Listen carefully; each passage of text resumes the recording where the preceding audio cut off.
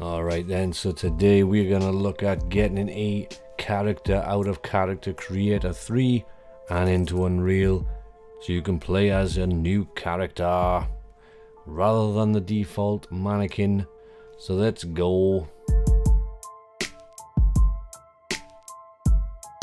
Alright then, so this is Character Creator 3. I'm not going to be giving you a tutorial on the software. Um, as I don't know everything myself anyway, but there's a lot of features in this. It deserves its own tutorial. I've only got the trial version, and this is the pipeline. If I go, I don't know if it's there. This is the pipeline trial. So anyway, I've made this character. As I said, I'm not going to talk you through that. We're just going to export this now. Go to File, um, Export, and select FBX Clothed Character. And it's saying I've only have eight times remaining on your license. With the pipeline trial, you only get 10 exports. So I've still got eight left that's fine for me there's the dialogue right okay so we want to get the tool preset to be unreal so here you can put uh, if you're bringing in animations as well because you can use animations like in iClone and stuff you want to select that I'm only taking the mesh so mesh will do here you can put a prefix or a postfix I think that's called a suffix usually okay uh, texture settings, embed textures or not, max texture size. I'm gonna I'm gonna keep mine, check mine, and put it as 248. You don't have to. It's up to you. Uh, convert image format. I think I will change mine to PNG. And this is for the motion. So if you had motion selected up there, you'd have options for your animation right there. And you can delete hidden faces if you like as well. Uh, I'm going to leave mine as they are.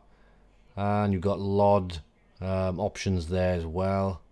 Install LOD. You can have up to three by looks of it. Well, you can have up to five, sorry. If you so want to. I'm not going to bother with that. So I'm going to click export.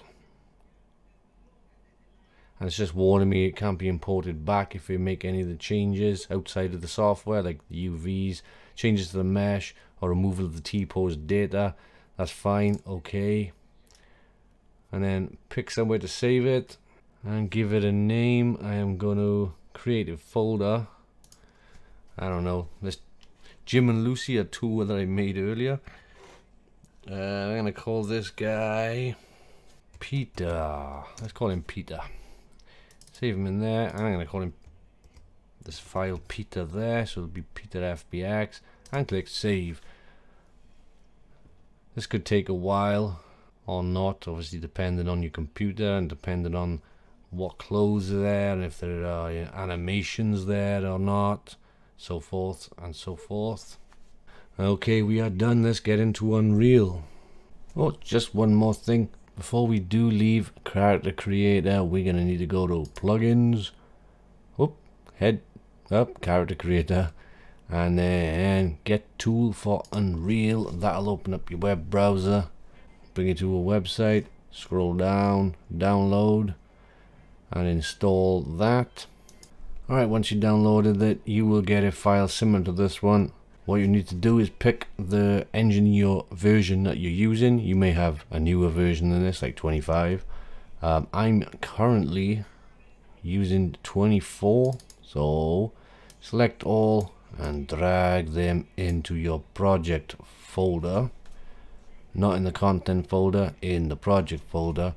So what is in this content folder will automatically be put into your content folder and then if you do have Unreal already open you need to close it and reopen it.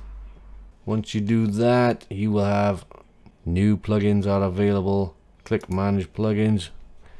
And if it pops up on the right screen you will have character creator and iClone auto set up and it's enabled. Happy days. Close that. If it says it's out of date just click that. And you'll see up here you've got a CC setup. Awesome stuff now we can get the ball rolling in Unreal by creating a folder calling it whatever you like I'm calling it Peter Gonna open that up. Alright, so we're gonna grab Peter and drag him in. Select standard shader or whatever shader you want. I'm gonna go with standard. On the import dialog box, you want the skeletal mesh. You wanna select the mesh as the UE4 mannequin and hit the down arrow there. You want to make sure use 2 as ref pose or TO as ref pose is selected. We want import morph targets to be selected.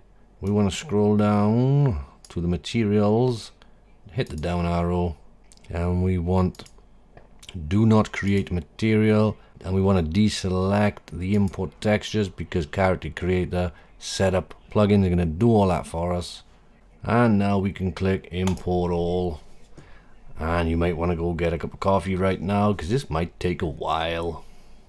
Alright then now it's all imported and we can now select our mannequin guy. Go over here we can select Peter.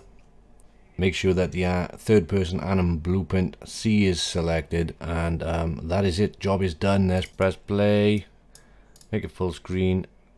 I've made a little error with his shirt there. I should have fixed that in character creator. Oh well too late.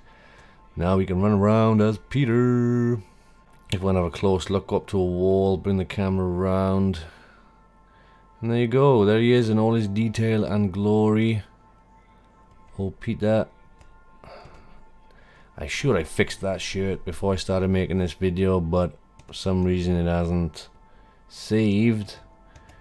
Oh well, there you, there you go anyway, that is that. Have fun with that, nice and easy. Couldn't be simpler, I'm more straightforward. Till the next one, I'm out.